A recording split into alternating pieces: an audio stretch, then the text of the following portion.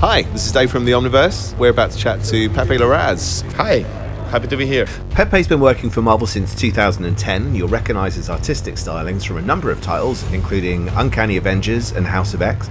He's also providing interiors for the brand new Big Game miniseries from Image Comics with famed writer Mark Millar. So, Pepe, you're known mostly as a, as a Marvel artist. Um, it seems that there's virtually no character left that you haven't, you haven't drawn. Um, who is it you'd most like to, to give a go at? No, actually, there is a lot of characters I haven't drawn yet. I mean, in pages. Uh, actually, in covers, there, must be a few, but uh, in, in, interior pages, there's a lot of them. Uh, for example, I would love to do some uh, Doctor Strange pages someday or Spider Man pages someday.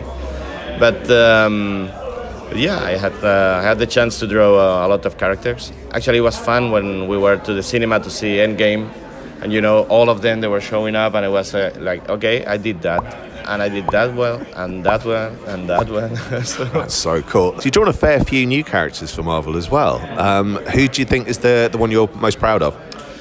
Well, there is a lot of them. Uh, most proud of probably will be the first one that comes to my mind is uh, the young Cable for the X Men that it uh, was around for for uh, you know a couple of years or, or so, and uh, I love this design and uh, I, I like the design of the Sons of uh, Apocalypse. I did.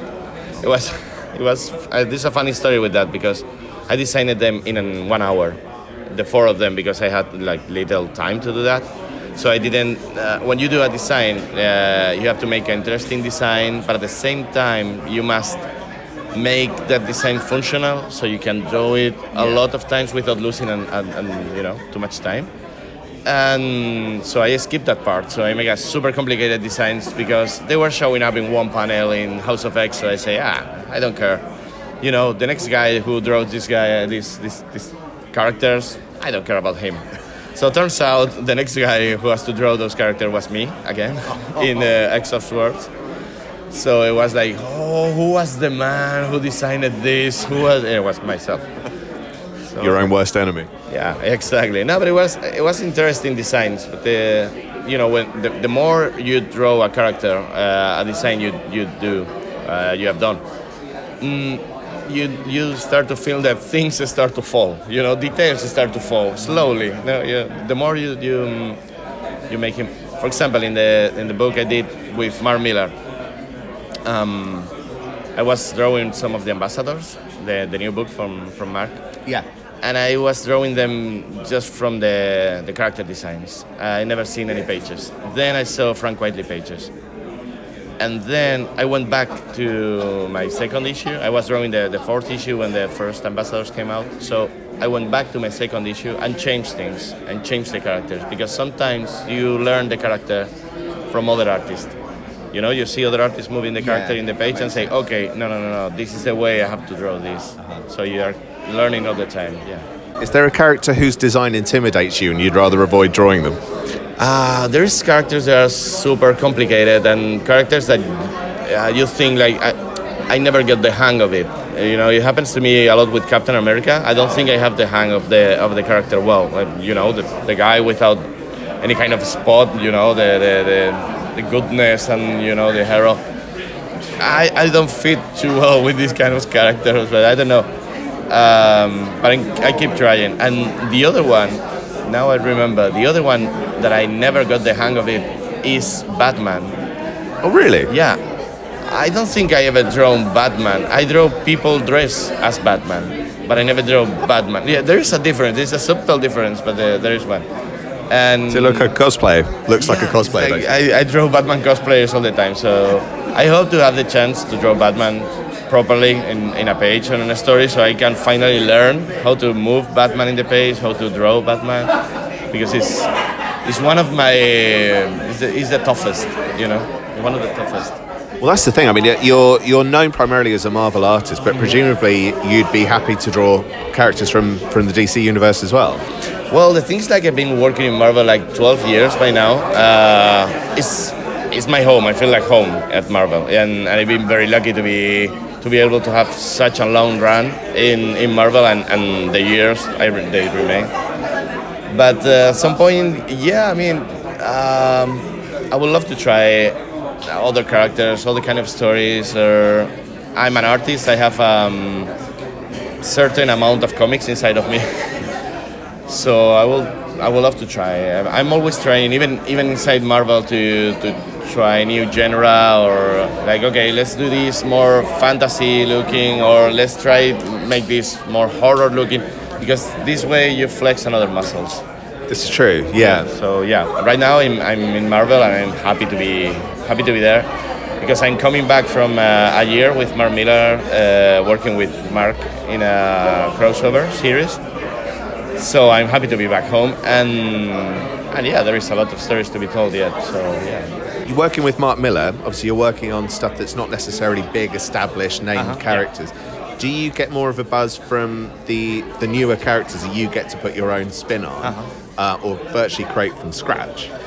Well, everything has its, uh, his, own, his own challenge. I mean, when you have a character that's been drawn many, many times by many, many artists, you can choose the versions you, you like and, and the versions you are going to base your own vision of the character. So you can pick, like, okay, I like the Deadpool of this guy and this guy and this guy and whatever. So you compose your own version of it based on the pre-existing version and, and, your idea of the character. With the new characters, you have to have an idea. It's important to have an idea of it. Yeah. So what I think always in comics is like they hire me to give my opinion of things. They hire me to give my vision of uh, yeah. Of the characters of the story, or I don't know. It's like mm, you have to think as an artist. You have to think they want you to have a vision. It's not they have you to draw the pages like in, like print the pages. Yeah, they want you to have a vision of things. Spin. So, yeah, I mean, with some characters it's more complicated than the others because you have to understand the conflict or, or the story or whatever, and not not always you know all the characters. You know, sometimes it's like who is this guy? So. I'm always asking the, the, the editors, okay, tell me about this guy. Who is this guy? what, what is happening to him? and and it's nice. And, and when you are the one creating the characters, you're um, thinking about other stuff. It's like it's easy to draw. It's it's gonna be recognizable on the page. The silhouette works. I mean, is the costume actually telling the story of who this guy is or this this woman is? And something, uh, sometimes it's it's nice because you learn to draw your own character when you see other artists drawing your characters. Oh, that's interesting. Which is yeah, this is this is weird because you're trying to to focus on one part of the character and suddenly you see other guy or other woman drawing your stuff. And it's like, I ah, don't know, no, no, I like, I like, I like his or her take more than mine. So yeah, this is this is the point.